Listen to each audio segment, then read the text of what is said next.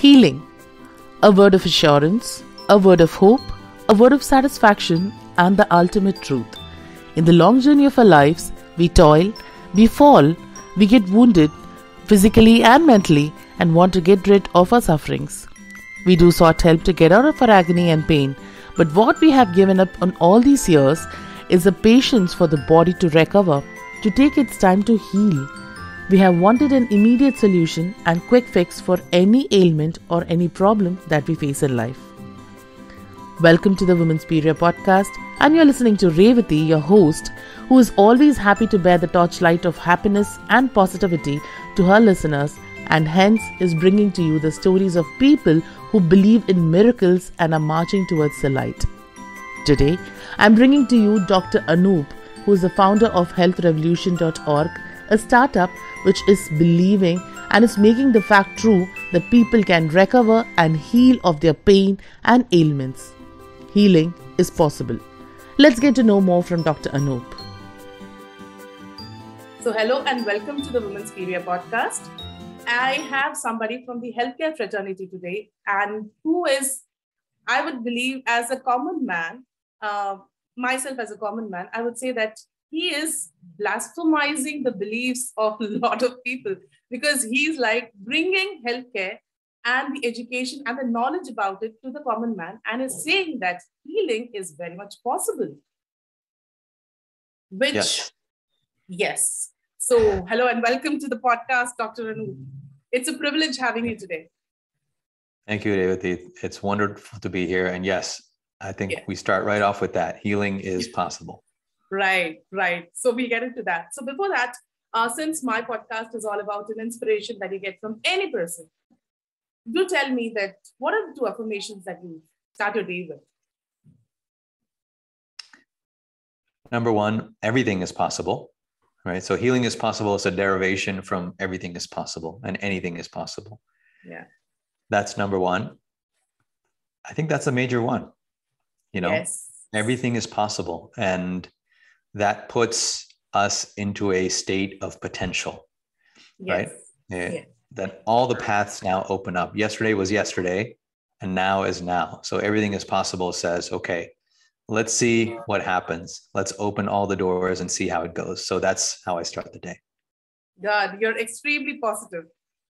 And once i don't know. You know, yeah. I, I don't know that i'm positive. I i just think it's i feel it's true you know that it's that uh i mean look at the world look at the universe look at the diversity in the world if you zoom out and look at earth this this rock floating in space in a solar system among now we say billions of actually inhabitable planets all floating right not on yes. what we call solid ground i mean how can we say everything is not possible? It's it's almost like a fantasy that's right. happening right now. So Eh, I don't see it in terms of like being positive or having a positive mindset. I just this is the truth. Everything is possible, and now out of all that possibility, what actually happens? Let's see.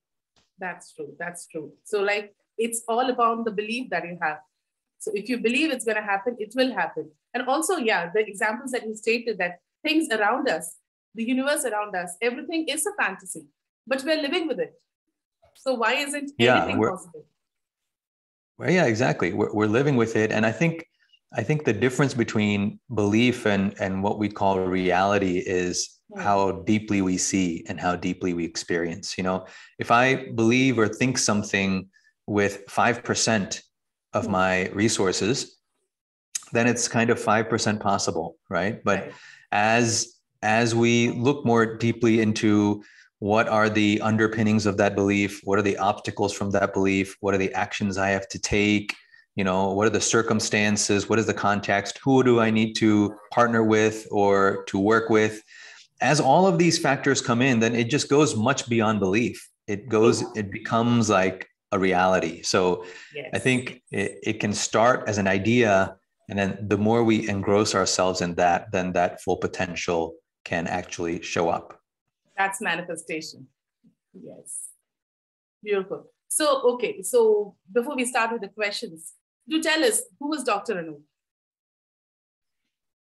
Well, he's a guy who's talking to you. Oh, yes. yes. and what is but- other? What is yeah? No, I'll, I'll give you a, a more comprehensive answer. But, Yeah. you know, he's a guy who has spent time in India and in the United States and is working as an emergency physician and was immersed in Advaita Vedanta as a child and has kind of brought all of these together and learned Carnatic music, as we talked Mhm. about earlier, yes. and has kind of brought all of these perspectives together to inform what we call health and healing and to communi- communicate a message about the healing potential that is innate in every human being. Wow, that's beautiful. So, since you're into this mission, tell us when was your eureka moment? When did you want, like, when did you start believing that healing is very much possible? Possible because you being from the doctor's fraternity, you don't have time for all this. You all you've got to do is you have to treat people, and that's what your life is all about. So you took Yeah. a step beyond. Yeah, When did Yeah, you start believing? especially in emergency medicine, right? Emergency medicine True. is is in Always on some your way the yeah the sickest people. And when when things have gone awry for a long time and reached a Hmm. tipping point and fell off the precipice in a way that's emergency medicine many times right? The, the real crux of emergency medicine at least. Um, healing is possible. It really like i said it stems from that that original perspective um, of potential that what we are fundamentally is not primarily a bodily structure, a physical structure. Right. We express also as physical structures. Mm-hmm. We can be interpreted also as physical structures, but fundamentally, we are of the nature of potential. And this was something I explored early on in life. And so the, the more traditional schooling and ultimately medical school actually came after this. So this foundation was in place already that, you know, what we are fundamentally is not just this body. Everybody's talking about the body, body, body, body. And that body is a representation of us. It's an important representation. And we cannot believe that that is fundamentally what we are. Once you do that, you're kind of lost, right? Because what we have done is restrict ourselves into a very narrow bracket of experience. And then we're trying to talk about diagnosis, treatment. It, it can't work because we're dealing with such an incomplete aspect of what we are. And so healing is possible simply comes from that original recognition Hmm. that there is much more to us than the body, that we are fundamentally of the nature of potential, which also expresses through mind, also expresses through body. And therefore, if that's true, then if we want something in the body to get better, naturally we have to look at all of what we are. And when we move into those potential aspects, then things that we think are miracles or apparently miracles happen because we only consider the miracles because we are looking at a narrow aspect of ourselves. But if you look at more, if you systematize that knowledge, if you if you make clear the levers that activate and express that knowledge, now all of a sudden you have a science of healing that goes far beyond our current diagnosis and treatment. So this is where this recognition that healing is possible come from. And on our podcast, on the Healing is Possible podcast on YouTube, we have examples of this. We have people who were on diabetes medications for decades and get off in a couple weeks by changing their food. We have people who had Crohn's disease, bowel obstruction, surgery for years, who after a couple hours of a particular kind of hypnosis or looking into the mind, their symptoms heal, right? So we're not making this stuff up. This happens all the time, but we tend to ignore it because we always look at the human being incompletely. And when we see the human being completely, then healing is possible. Beautiful, beautiful. So all these years, I, I believe in uh, in the old age, in the old days, in the ancient times, there was this concept of healing. It was very much possible. Our ancestors, when they started medicine, when they started treating ailments, so they said that healing is possible. It was somewhere in the middle that people started. They wanted a quick uh, result for everything. That's possibly Yeah. the reason why even Yeah. the medical fraternity has gone uh, like they have shut themselves from opening up to Yeah. people. Yeah. Yes. Yeah, it's- yes. Certainly the idea of healing has always been there. It's still there today. But Hmm. healthcare doesn't talk. Actually, we're re- releasing a video, I think today, about this. Why does healthcare not talk about healing? Yes. And one of the reasons is what you said. Yes, we want a quick solution. There are other few key reasons. One is that we think that healing is unscientific or we don't have a good definition for it, right? We don't understand it. So is healing the same as cure? No, it can include cure, but it doesn't have to. Is it the same as treatment? No, it can, it can include treatment, but it doesn't have to, right? Healing is a much more comprehensive understanding and exploration of what's happening. It's it's finding the meaning in what's happening. It's right. looking at ourselves from a whole perspective. And when we do that, you know, different treatments can open up, cure can open up, all kinds of things can open up. So healing is much more comprehensive than mm. even only treatment and even only cure. But to really understand that again, you have to see that our model of anatomy now is human body anatomy. We don't have human being anatomy. We have only a fraction of that as human body anatomy. And so physicians, for the most part, are not comfortable talking about healing because it lies outside of our domain of expertise, right? Mm. We haven't been taught about the mind. We don't study the mind. What are the what are the different ways that mind expresses, right? What is the actual relationship between the body and the mind? Um, what are the ranges of the mind? When does mind begin? How does it end? What is its relationship with space? What is its relationship with identity? What is its relationship with perception? What is its relationship with the physical world? And on and on and on. We don't know any of this. As professionals, we're not trained in any of this. So we don't have expertise in healing because healing goes beyond the body. It has to include mind, it has to include the subtler aspects of the human being. So we don't want to go there. The other thing is when you go outside your expertise, now all of a sudden you're not an expert anymore, obviously, right? So that credibility is threatened, right? And when your credibility is threatened, your salary is threatened, right? when your salary is threatened, your your I mean everything is threatened. That's your identity, that's your living. So because of these reasons, we don't talk about healing and we tend to pretend like it's unscientific but that's only because we haven't looked at our philosophical opinions to begin with. So there, there are many reasons like this why we don't talk about healing. But the idea that it's it's not a rational thing, that it can't be understood, that it can't be systematized, that's a false idea. That's simply groupthink that it arises due to fear of losing that sense of expertise. Right. So uh, should I should I conclude that both are at fault, the patient and the doctor? The patient uh, is, does not have the patience to listen to the doctor's uh, belief, and the doctor is not able to deliver according to the patient's understanding. Is that so? So that's well, the reason why. I, uh, rather than saying it's it's either person's fault, I would say that it's it's the responsibility of everybody. Hmm. The doctor has a responsibility. The patient has a responsibility you and I have responsibilities to share this message. The society has a responsibility to start talking about it. We are all responsible for healing, right? Mm. Any any deficiency in any one aspect affects the entire population, right? You just need a little bit of of misinformation or a little bit of ignorance and that'll mm. spread like wildfire and that's the predominant state today regarding healing people are even afraid to use the word if they're a professional right, right. so so, yes, I think we are all responsible for it. Physicians have to start looking into if hmm. this is healing, how does that connect with my understanding of knowledge, with my understanding of medicine, right? How do I bridge that? And right. everybody has to start looking into that same thing. Remember, ultimately, uh, a physician and a patient in that particular encounter, they're playing separate roles. But right. ultimately, all physicians are patients too, right? At some point. Uh, yes. people, when we talk about anatomy, physicians are not just talking about your anatomy, we're talking about our anatomy, right? Yes. really, you know, mind is, is secondary. It's not really that important. We're not just talking about your mind, we're talking about our own mind. Right. So, all human beings, we're all in this together, and it's imperative for all of us to take on this responsibility of looking into healing and how healing is possible right? So that's a revolutionary mindset that you got. And i i i mean i think it's the first step you need to take is convince the other physicians.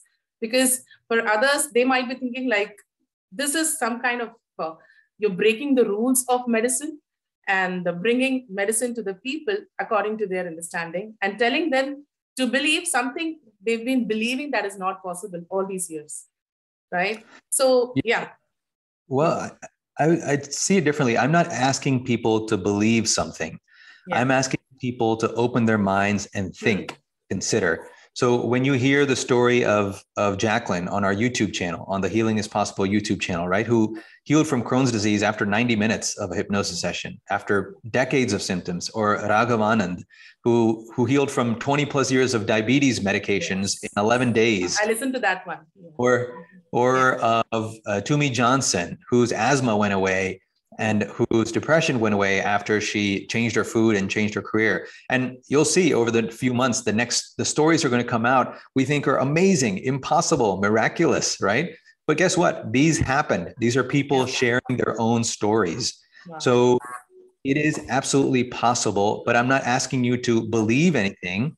Listen to the stories, think, consider for yourself, formulate a hypothesis, and now investigate right? On the on the website healthrevolution.org we have the four engines of health and healing nutrition movement connection rest. We go into detail about them. And there mm-hmm. are articles this on the website. Read the articles.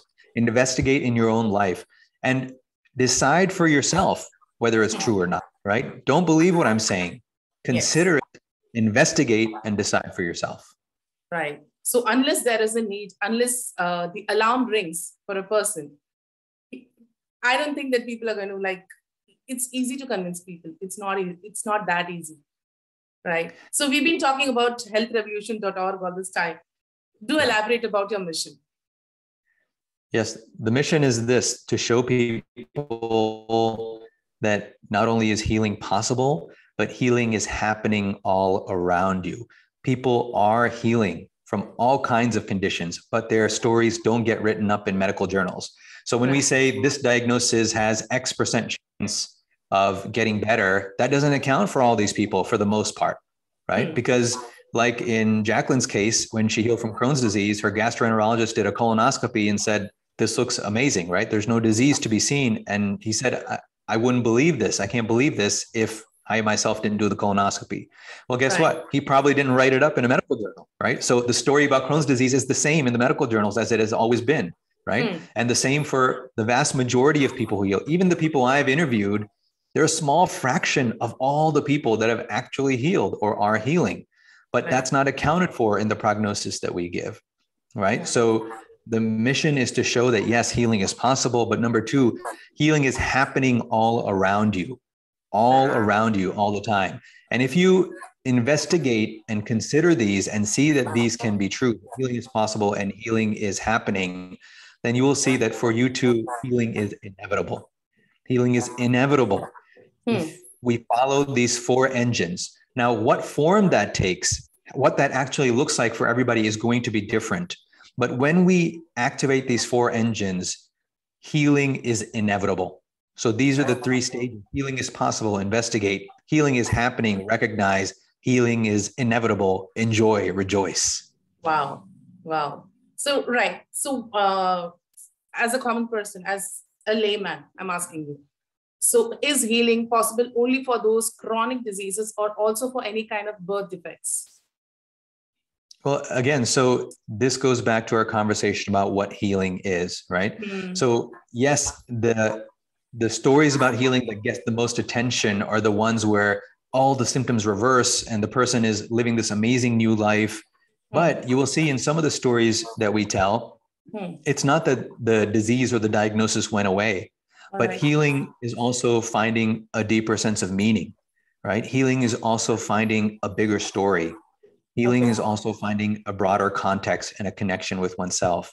So, in any case, that's why we say in any case, healing can happen. But what form that takes depends on the particular person, the circumstance, but when we open up to that kind of healing, mm-hmm. then also the miraculous kinds of things that we call miracles, they can also happen. So we have to even expand our idea of healing. Healing is not only miracles, right? Healing is not only getting rid of the diagnosis. Healing is ultimately seeing ourselves more fully and completely. And that in itself has a healing effect.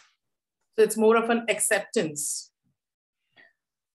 yeah, I, I'm I'm wary of that word. I agree with you. I'm also wary of that word because mm. we have to be careful what we accept and what we don't right. accept. Right. Right. right. It, it's a recognition. It's a deepening. It's a sense of rest. and broader context and depth within oneself. True. Yes. Okay. Um, so, Doctor, you would uh, you mentioned earlier that you have uh, the teachings of Advaita Vedanta. How are you inculcating the same with medicine? So, you know, the the core tenet we can say of Vedanta is aham brahmasmi, right? It's the idea that, let's say, what I am is the ultimate nature of the universe, that the universe and me are not fundamentally different, and that the multiplicity of universe of the universe as beautiful and diverse and functional as it is is one way to access the universe is a way of seeing and interpreting the universe and there are many different kinds of identities and layers of what we call a universe. And so there's this dance between, let's call it unity and multiplicity, right? That all of us can experience. And mm. that hmm. is one of the deepest kinds of healings that can happen. So if this is the case, then we can say that the universe can be accessed in three different layers. And I call these the three minds the first mind, second mind, and third mind. And the whole idea of healing is possible is that when we see ourselves more deeply, right, through these different, let's say, lenses of the mind, these different yeah. mental configurations, when we see ourselves through these different layers, we immediately immediately see that what we are is much more than a physical structure. Mm-hmm. And as soon as we see that we're much more than a physical structure, new ways of expressing, acting, functioning, seeing, relating, speaking, everything come to the forefront. And many times the mechanisms of health and disease are in those layers, right? So, so the bridge is from this idea of Aham Brahmasmi, the fundamental unity of the universe, which also expresses as multiplicity, we see that there's much more to human anatomy than the physical structure and hmm. therefore we can access the deeper layers and therefore we have more power in accessing developing honing healing now a big part of that is it's not only an individual phenomenon right aham brahmasmi means everything yes. is related and so that relational aspect with others is so important the relational aspect with society is so important there's such a strong correlation between socioeconomic status and health right? right. True. You see that you know it's very popular to say that um, that chronic conditions are a result of um, the success that we've had, right? Or wealthy countries chronic conditions. Yes. But you will see if you look across the globe, if you look at the WHO, they have statistics showing that there's a very clear correlation between disease and lower socioeconomic status. And mm. we see that everywhere. You see that especially also in, in what we call mental health, right? If your if socioeconomic conditions are difficult, you're going to have more distress. And if you have more distress, you're going to be ultimately leading to what we call disease, right? There are strong correlations between all of these. So, this three minds framework helps us see that all of these things are interrelated. And the when we remove the society, when we remove the environment, and when we remove the deeper aspects of ourselves, and all of this is restricted and compressed into physical anatomy of an individual, how can you possibly make a complete diagnosis? How could you possibly have a system where healing is the baseline? It's not possible. That's what we need to change. Right. So, so I, am getting a different, totally different dimension of spirituality from a doctor. Yeah. yeah. I mean, in the sense that look, I also think we're on a time now. We're in a time now that we don't need this word spirituality anymore. Right. You, know, you only need the word spirituality as long as it's something else. Mm. Right. I have my daily life and I have my rational mind and I have my science and I, I have this and that. And then, you know, I also have my spirituality. I also meditate. I also that's that's old spirituality. That's right. we're done with that. You know, at some point it has to become simply seeing deeply right? Simply knowing myself better, simply relating with the world more completely. And as a person does this and the vision deepens and the experience of life deepens, there's no such thing as spirituality because the camera in front of you is not just the camera, it's much more than this, right? The conversation you're having is not just two bodies making sounds, it's much more than this. And that is everything that what we call spirituality had been pointing to, asking a Hmm. person to sit and meditate, is to have this deeper, richer experience that goes far beyond the classic first mind stories we're given in the world. True, true, true. Yes. So, all right. So, moving forward, Doctor, uh, I've seen you've written two books. What are the books about? Yeah, the first book is uh, Michelangelo's Medicine, Mhm. and that was kind of recounting my training in medical school and in residency and Yes. how I began to reconcile that with my childhood experiences and ultimately had to start saying something right? It was this it was this point where it could not be you know contained anymore and it just kind of overflowed.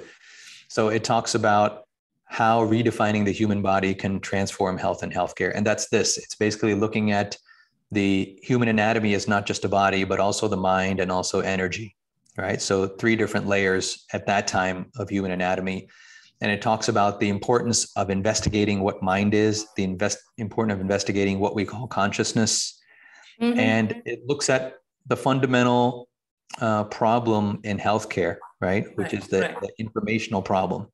And the informational problem is the very information that we have of how we look at the human being Right. is so radically incomplete that we could not possibly discover what health truly means with that kind of information. So we need to complete our understanding of being human. And there are many other things in there the science of well being, what a future health system looks like, what we have to do to get there. I have a letter to physicians in there. wow. So check it out. A lot of things in that. The second book Hmm. called Is This a Dream?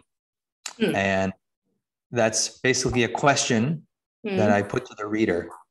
And we start to draw the parallels between what a dream is, what is called awakening, what is called enlightenment, what is called spirituality. And we try to take all the what's the word? The the the labels and the the the associations, Stereotypes. the Yes. stereotypes, that's the word, from these words. Just remove them all and Hmm. look at the naked experience of what we're talking about and see that you know all of these things we call science spirituality and philosophy and daily life and all these things like we made up these categories you and i as human beings we made them up right they don't exist in nature you know you don't see you don't see the deer in the woods talking about spirituality or you don't see the lion roaring Right. about philosophy right Yes. because they have an integrated experience of life.